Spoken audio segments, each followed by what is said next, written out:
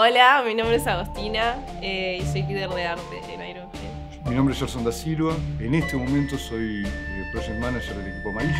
En Ironhead hay, ahora se están formando cinco equipos en total. La estructura de todos los equipos es muy similar. Tiene un Project Manager, que es de alguna manera responsable de la visión del juego. Estrictamente hablando, hay tres áreas en el desarrollo de juegos, arte, eh, diseño y programación. Algo que yo considero súper valioso es que los equipos son multidisciplinarios y que todos tenemos como un decir en el juego. Son juegos como de acción, muy pulidos a nivel de game design y de arte.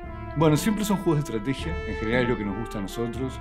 Entonces, distintas eh, ramas de eh, la estrategia. Tower Defense, RTS, RPG. En sí, la inspiración viene de cualquier lado. Ideas de películas, de libros, de series, pero también de, mitos o de leyendas, o tomo ideas de un dibujo que vi, o tomo ideas de, un color.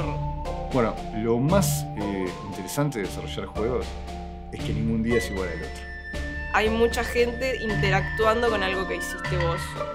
Y todo el trabajo que le pusiste a algo realmente tiene como su paga, llega a mucha gente, eso me impresiona mucho. El juego tiene una peculiaridad como medio de comunicación que es la interacción.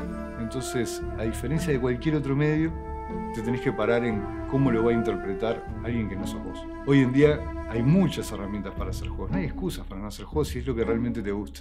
Acá lo importante es hacer juegos, entonces hay jams, eh, eventos que se hacen donde, bueno, en un periodo acotado se, se, plantea un desafío y entre un grupito que se arma ahí mismo se hace un juego, fin de semana, un día.